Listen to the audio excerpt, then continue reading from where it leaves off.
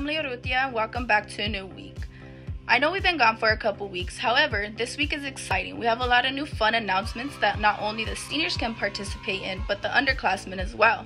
Stay tuned throughout the video to hear from my classmates about the following new announcements that are coming our way. Thank you, Emily. My name is Rose, and I have a couple of announcements for you. I know we have a lot on our plate this semester, but there are still some great things that we can participate in. Juniors, your career day has turned into Career Mondays for the month of March. How exciting is that? Keep checking your Canvas email for more Zoom links. CSF March tutoring hours will resume in March. Key Club and GSA are opening cabinet positions for the next school year. If interested in leadership positions, check out their Instagram for more information. My name is Rose Velasquez and I'll be talking about homecoming. Despite the circumstances, we still want to make sure some of our classmates get some type of recognition as a homecoming court. We'll not be having an actual dance, but we will have a court.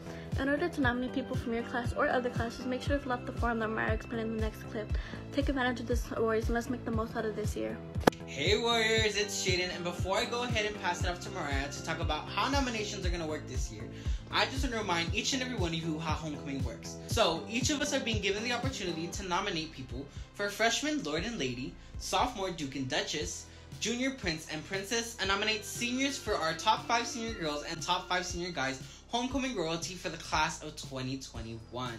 And with that, I also want to give a special shout out to the Alumni Association, headed by Steven Zavala, class of 1995, for helping bring alumni together to get our royalty crown.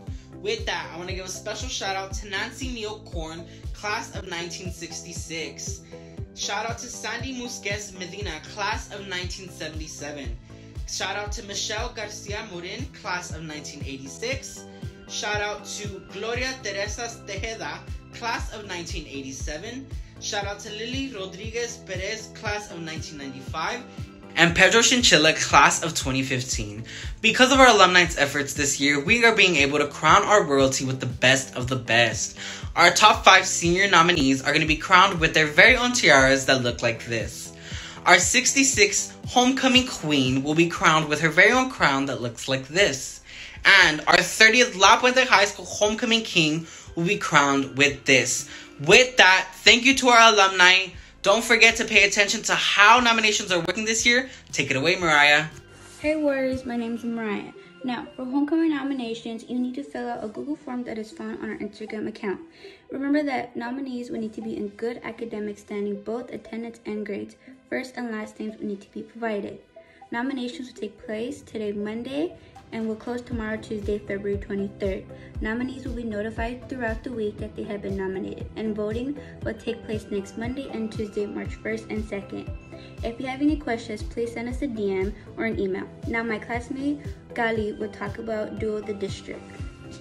Hey Warriors, my name is Galileo Nate, and I just know you all seen we took the lead and the win against the other high schools in our first duel of the district. Wow, I'm so proud of us.